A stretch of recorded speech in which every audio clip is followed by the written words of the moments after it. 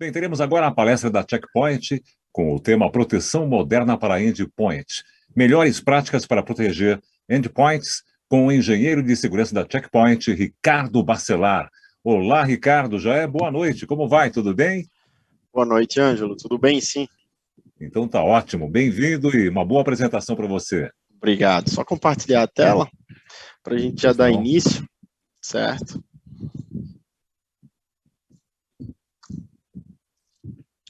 Bom, é, para a gente começar aqui falando um pouquinho, né, sobre principalmente as melhores práticas aí de como proteger os nossos endpoints e né, falar bastante do.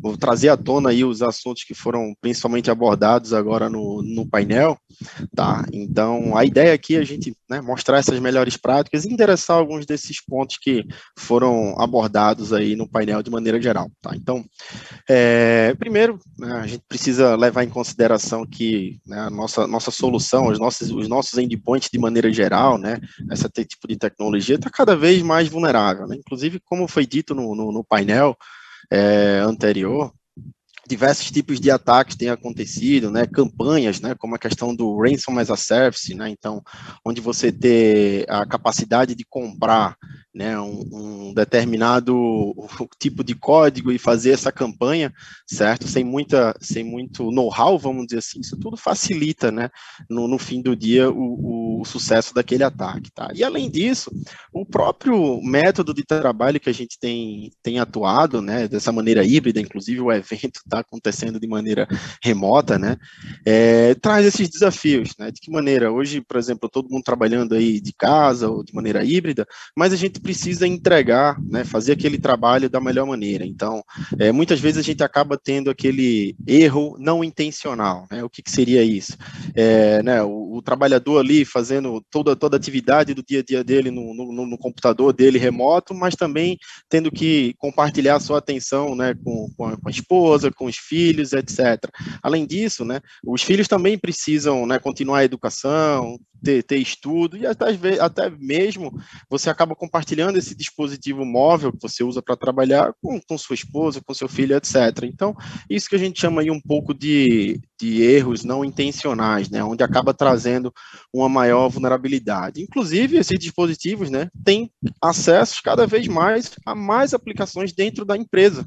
Tá? A gente sabe que quando está dentro da empresa sempre tem um controle né, de segurança, né, seja um controle de perímetro, seja o antivírus instalado, né, seja o controle do acesso daquele usuário que aquele precisa ter, mas quando a gente está de casa, né, de fora, nem todos esses controles são efetuados. Então, cada vez mais a gente tem mais aplicações, né, e todo mundo trabalhando de maneira, de maneira remota, tá? E, de maneira geral, né, o que, que isso traz? Traz principalmente ali, né, um, um, grande, um grande desafio para o time de segurança, né? É, fazer mudanças ali significativas naquela infraestrutura, políticas, prover VPN para esses usuários, isso tudo, né, aumenta ali a, a, o dia a dia, né, as tarefas daquele time de, de, de, segurança, certo? E o principal ponto, né, ter que gerenciar aí múltiplas ferramentas, né, tanto para prover acesso quanto para prover o nível de segurança, tá? Então, assim, toda essa dificuldade né, que o time de segurança tem para prover um nível de acesso seguro. Tá? É, então, para endereçar um pouco esses desafios, né, o nosso time de, de pesquisa, certo? É, relatou aí, inclusive, Daniel, né, no, no, painel, comentou um pouco sobre, sobre esse tipo de, de assunto, que é o que, né? O nosso tipo de, time de pesquisa focou aí, né, resgatou e, e coletou diversas informações que houve um, um, acréscimo significativo de ataques relacionados a phishing, que é justamente o que? É, tentar ludibriar aquele usuário, né, com algo que desperta o interesse dele, certo? Para que, de alguma maneira, aquele atacante, aquele atacante ganhe acesso, seja credencial, seja o laptop, etc. Tá? Então, é, os ataques, né, pegaram ali aquele momento de fragilidade, inclusive utilizando, né, campanhas da, da própria pandemia. Tá? A gente viu isso no Brasil, né, no começo da pandemia, com relação a a campanha né, do, do, do, auxílio emergencial, então tiveram diversas campanhas de ataques né, relacionados a esse tipo de programa, tá? Então, assim, o nosso time também, né, é, identificou ali que a cada 10 segundos, né, existe uma nova vítima de ransomware, né? Talvez isso, inclusive, pelo, pelo motivador ali da, do próprio, do próprio negócio em si, né? No caso da, da própria franquia de Hansor que hoje está tá existindo, tá? É, então, além disso, né? Como até o Daniel comentou, certo? E é, cresceu aí basicamente 50%, né, do, na, média de ataques relacionados a ransomware né, em toda a corporação. Tá? E o principal ponto que a gente leva em consideração é quais são as ameaças disso, né? Tipo assim, ah, é o roubo de informação, né? É tornar aquele tipo de ataque público, né? Causar um dano à imagem daquela empresa. Então, todo esse tipo de, de ataque, de incertezas ali, causa um dano, né? De maneira maior para aquela corporação. Tá? Isso tudo nos leva a quê, né? A basicamente basicamente aí uma, uma tempestade cibernética, né, com mais vulnerabilidades para esses endpoints, o um maior desafio para esse time de segurança, certo? E cada vez mais um tipo de ataque, né, é, desconhecido, com novas táticas, né, sempre novos, novos tipos de ataque ali para esses endpoints, tá? Então, assim, a gente precisa tomar o controle, né, precisa ter um, uma ação preventiva, né? Fazer um, ter um, nível de segurança maduro. Então, basicamente a gente precisa aí, né, de três princípios, certo? Primeiro, é uma prevenção efetiva, certo? Bloquear aquele ataque antes que ele alcance aquele usuário, certo? E outro, é, me preparar para o pior. Né? De que maneira? Eu minimizar toda a superfície de ataque, né? minimizar todos os pontos que possivelmente aquele atacante poderia conseguir acesso, certo? Com, é, com técnicas avançadas ali, com resposta a incidente, etc. E um outro pilar é justamente a simplicidade, né? Eu trazer uma consolidação das soluções, né? Inclusive e agilidade, né? No processo de, de segurança como um todo, tá? E para isso, né? A, a Checkpoint introduz aí o nosso Harmony Endpoint, que é justamente uma proteção completa certo? Protegendo aí principalmente contra os principais ameaças do dia a dia, né, com trazendo muita inteligência e automação né, na recuperação certo? E remediação daqueles incidentes, e trazendo ali um gerenciamento simples e um custo né, é, é relativo para um baixo custo para esse nível de segurança. Tá? A nossa solução hoje, né, ela tem aí uma abrangência de mais de 5 mil clientes, né, e sempre identificando é, novas é, atividades maliciosas, né, tipo, mês a mês a gente traz esse índice, então, assim, são números bem exponenciais que a nossa tecnologia consegue identificar, né, em todos os vetores.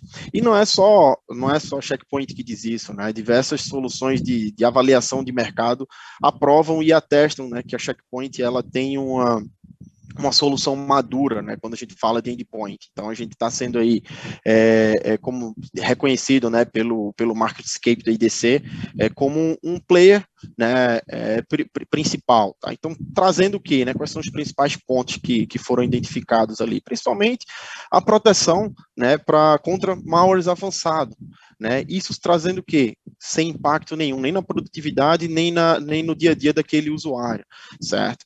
É, trazendo remediações também, né, contra ransomwares. Então, assim, por mais que você acabe ali identificando que teve um ransomware, mas que você não vai se preocupar com aquela encriptação daqueles dados, com aquele sequestro daqueles dados, certo?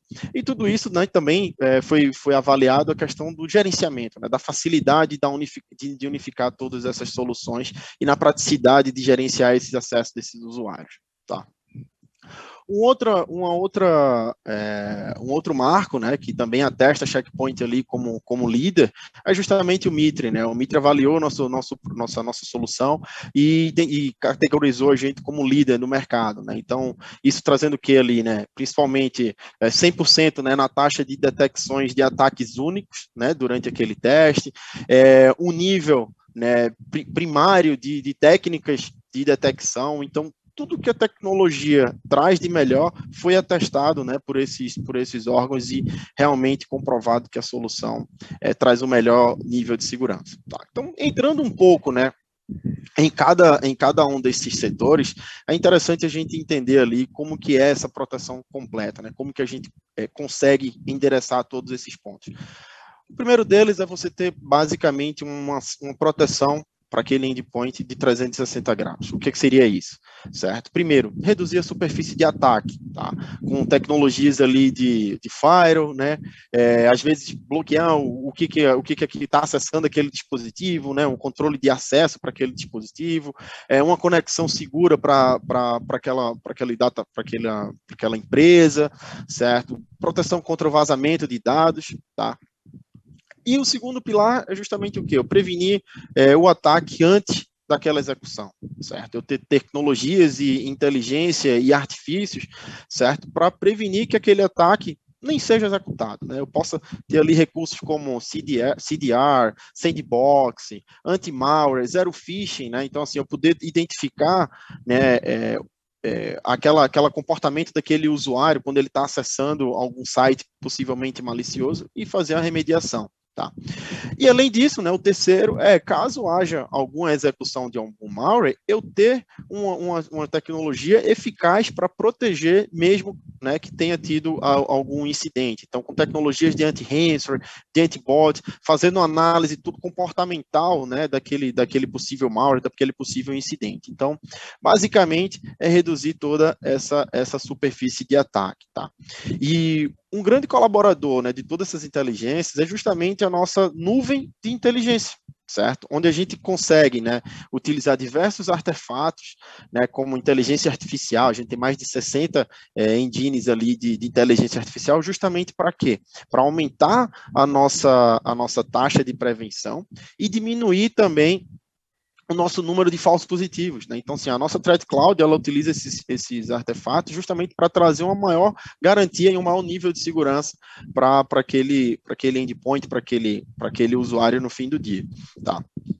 Alguns desses controles, né, que a gente apresenta na solução é justamente o que, né? Você não impactar na produção daquele usuário. Então a gente fazer uma análise, né, é, daquele conteúdo que ele está baixando, daquele documento que ele está é, tentando abrir, né, em, em, tempo real. Então eu entregar uma cópia, né, sanitizada daquele documento, enquanto ele está sendo analisado em ambiente controlado, se por exemplo aquele documento executa algum, alguma macro maliciosa e após um veredito, certo, que de caso que seja benigno, o usuário ter o acesso é, é aquele documento origina, original, tá?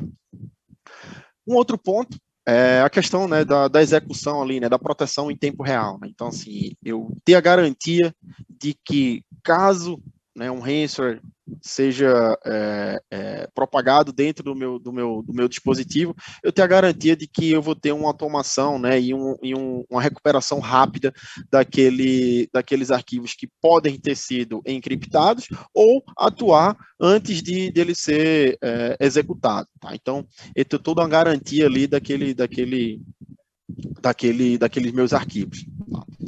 É, e um outro ponto bastante uh, interessante é justamente a proteção em tempo real para phishing. A gente falou no painel, foi, foi, foi comentado muito a questão sobre o, o aliciamento, né, o roubo de credencial.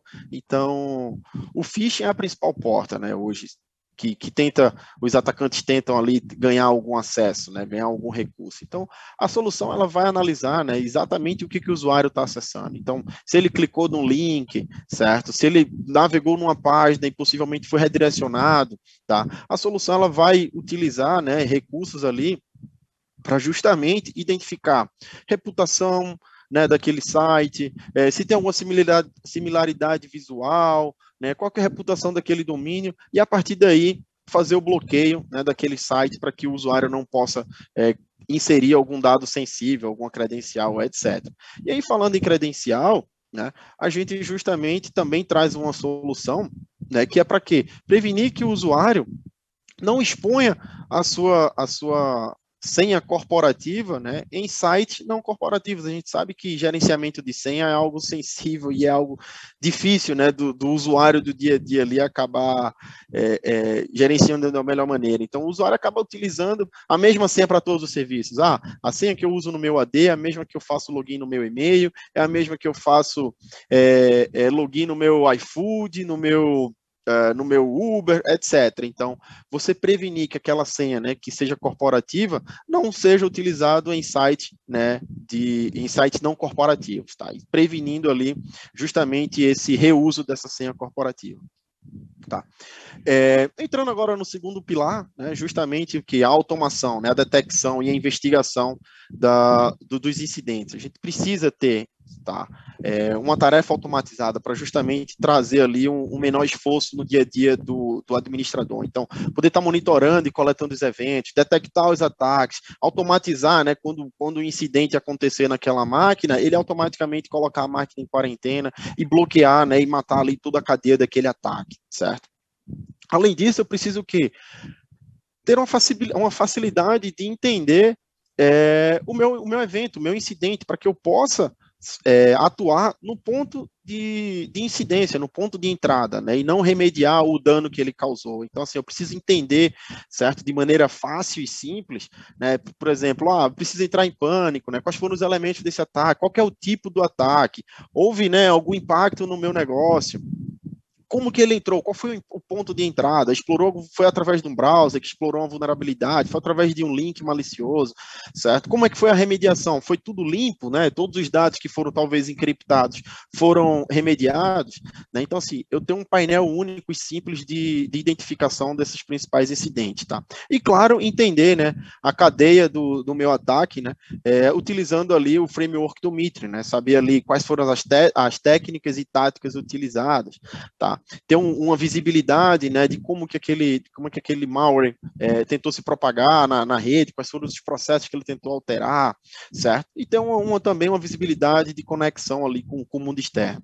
Tá. Então, assim, a ideia é justamente o quê? Eu tenho uma, uma, uma proteção automatizada e proteger o ponto, né, a, a, a, proteger o ponto inicial daquele, daquele exemplo. Então, por exemplo, aqui na imagem, a gente teve um usuário, né, que tentou acessar algum arquivo ali via, via, via o Outlook, certo? E aquele arquivo fazia uma chamada externa tá, e baixava algum payload ali que tinha algum malware por dentro daquela máquina daquele documento. Então, assim, a gente vai atuar justamente no ponto de entrada, né? Então, ah, foi através do Outlook que ele conseguiu executar, ou foi através de um documento. Então, a gente vai atuar naquele, naquele ponto de entrada, né? E não tentar remediar o dano é, após o incidente. Tá? Então, assim, entrando em detalhes, a gente precisa, né, justamente o que de soluções também de ADR.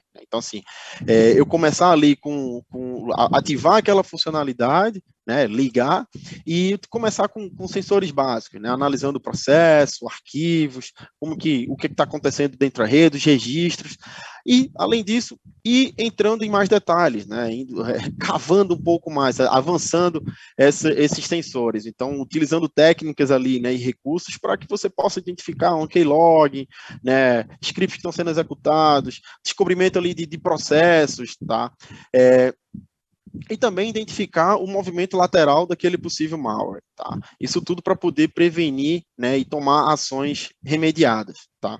De maneira automatizada.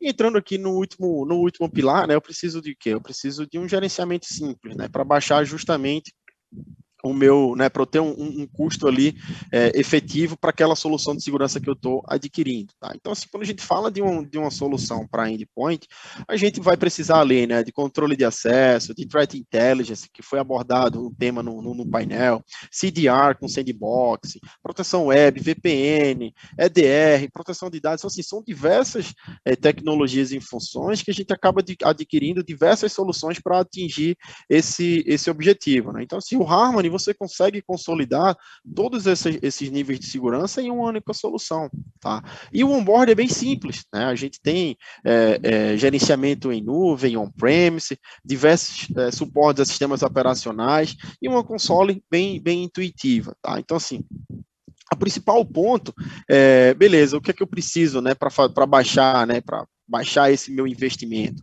tá? É justamente o que? Fazer uma correlação ali do custo daquele meu software que eu estou adquirindo, tá? Com relação ao custo, né, de, de horas homens para administrar aquela solução. Então, é, eu não preciso estar tá treinando, né? Quando a gente fala ali de, de, de hora homem, eu não preciso estar tá treinando o meu time em três, quatro, cinco soluções de segurança, como a gente viu aqui no, no slide passado, tá? Então, vai ter uma, uma, uma solução centralizada. E, ao mesmo tempo, eu não preciso comprar ali três, quatro soluções para endereçar a, a, o meu nível, para elevar o meu nível de segurança. Então, um, um, único agente ele vai poder prover ali né, o acesso àquela, àquela, aquela unidade, proteger contra vazamento de dados, né, pro, pro, prover ali todo o, o, a capacidade, né, de EDR e, e, antivírus de próxima geração e também a capacidade de, de sandbox. Então você vai estar ali reduzindo, né, tanto né, valor do seu, do seu software como o valor da, da, da equipe, né, de, de capacitação. Então a ideia do Harmony é justamente essa, né? É o que? É ter uma, uma segurança unificada para aqueles usuários, provendo um acesso de maneira segura, né? trazendo principalmente simplicidade naquele uso, tá? E no gerenciamento também de maneira geral. Tá? Então, assim, você precisa de uma solução que seja completa, né, que previna todos os, os, os principais tipos de ataques, tá? Ter o principal, é, ter uma automação e, e remediação né, de forma rápida e, e um melhor custo-benefício naquela solução. Então, de maneira geral, era isso que a gente tinha para falar. Agradeço o tempo, certo? E abro espaço para caso tenha algumas dúvidas. E se tivermos tempo, né, Ângelo? Pois é, pois é. Infelizmente não dispomos de tempo, Ricardo Bacelar, mas olha, foi um prazer recebê-lo. Parabéns a você pela apresentação e nosso muito obrigado a Checkpoint. Sucesso a você em suas ações. Agradeço. Obrigado. Até mais.